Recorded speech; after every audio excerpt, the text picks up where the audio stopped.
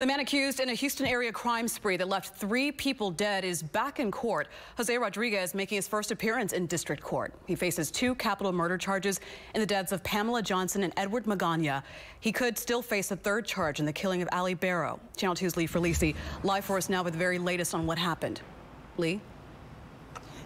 Sion, once a fugitive on the run, now he's facing two capital murder charges. Rodriguez was in court today where he had his rights read to him and he heard the probable cause allegations against him. We have some video from court today. Rodriguez walked into court wearing a bright yellow jumpsuit. Authorities say he was a parolee who went on a crime spree shortly after cutting off his ankle monitor about two weeks ago. He is charged with two counts of capital murder. One of those counts is for the fatal shooting of Pamela Johnson inside her home.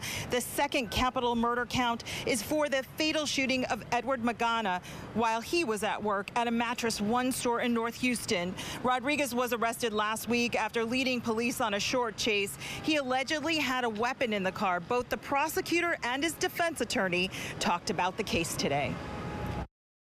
It's very early in the investigation. We're working on getting ballistics testing, crime scene testing completed.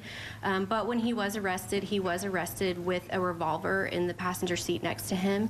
And we believe that that's probably consistent with the murder weapon that was used in the Capitals. Well, every time you have a client who's charged with multiple capital murders, um, you know, it's a up, uphill battle. We just ask for people to be patient and wait to hear all the facts and not jump to conclusion. And, you know, that's why I've asked really uh, seasoned lawyers to assist me because it is a difficult case.